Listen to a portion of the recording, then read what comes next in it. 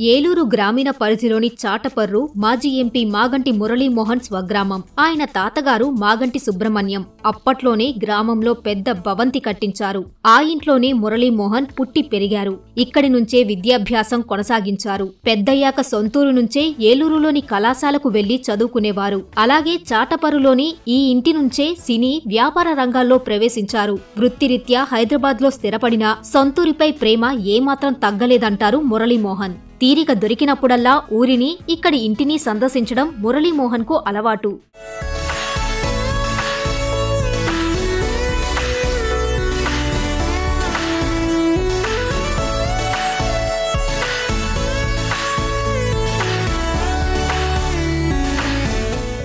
పంతొమ్మిది వందల ఇరవై ఐదవ సంవత్సరంలో పద్దెనిమిది అంగుళాల మందంతో పూర్తిగా సున్నంతో ఇంటి గోడలను నిర్మించారు. రెండంతస్తుల ఈ ఇంటిని ఇందిరా విలాస్గా పిలుచుకునేవారు. మురళీమోహన్ తాత తండ్రి కాలం చేసిన తర్వాత ఖాళీగా ఉన్న ఇంటిని గ్రామంలోని ప్రాథమిక ఆరోగ్య కేంద్రానికి అప్పగించారు. కొన్నేళ్ళ పాటు ఇందులో ఆసుపత్రిని నడపగా భవనం శిథిలావస్థకు చేరడంతో మరో చోటుకి తరలించారు. ప్రస్తుతం భవనం ఆకారం మారకుండా పాతకాలపు రూపురేఖలు చెక్కు చెదరకుండా ఆధునికీకరిస్తున్నారు. ఈ పనులు పూర్తయ్యాక సామాజిక కార్యక్రమాలు గ్రామ అవసరాల కోసం భవనం ఇచ్చే ఆలోచన చేస్తున్నట్లు మురళీమోహన్ తెలిపారు. ఈ గ్రామంలో మా తాతగారు కట్టిన ఇల్లు తొంభై ఎనిమిది సంవత్సరాలు అయింది ఇప్పుడు పూర్తయ్యి అప్పటి నుంచి మేమందరం కూడా ఇక్కడే పుట్టి పెరిగాం ఇక్కడే చదువుకున్నాం. ఇక్కడి నుంచే వ్యాపారంలోకి వెళ్ళాం అక్కడి నుంచి సినిమాల్లోకి వెళ్ళాం. సరే చంద్రబాబు నాయుడు గారు ఇచ్చారు ఒక పిలుపు.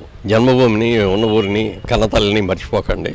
ఏ ఊర్లో చదువుకొని ఏ ఊర్లో పెరిగి ఏ ఊరు వెళ్ళినా మన ఊరిని గుర్తుపెట్టుకోండి మన గ్రామానికి బాగు చేయండి మన స్కూల్స్ని అభివృద్ధి చేయండి అని చెప్పిన మాటని స్ఫూర్తిగా తీసుకొని తొంభై ఎనిమిదేళ్ళు అయింది కదా ఈ ఇల్లు ఇంకో యాభై ఏళ్ళు కనీసం ఉండేటట్టుగా స్ట్రాంగ్గా చేయాలి అనే ఉద్దేశంతో దాని రూపురేఖలు ఏమీ కూడా మార్చకుండా ఆ రోజుల్లో సున్నంతో కట్టిన ఇల్లు ఇవన్నీ కూడా. పద్దెనిమిది అంగుళాల గోడలతో ఇటుకరాళ్ళు సున్నంతో కట్టిన ఇళ్ళు అదంతా కూడా చెక్ చేసి మళ్ళీ సిమెంట్ కొమ్మ తోటల బిల్డింగ్ అంతా కూడా సిమెంట్ చేయించి మళ్ళీ ఒక యాభై ఏళ్ళు గ్యారంటీగా ఉండేటట్టుగా మా త్వరవ అయిపోయి ఎవరికన్నా ఉండాలి కదా.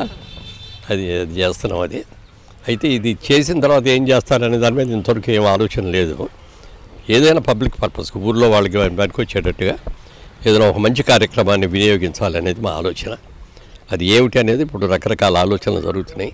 అది ఫైనలైజ్ అయిన తర్వాత మళ్ళీ మీకు అప్పుడు చెప్తాను. తాతల కాలం నాటి ఇంటిని కోట్లు వెచ్చించి పునర్నిర్మించడంతో పాటు సామాజిక అవసరాల కోసం ఇవ్వాలనుకోవటం పట్ల గ్రామస్తులు హర్షం వ్యక్తం చేస్తున్నారు.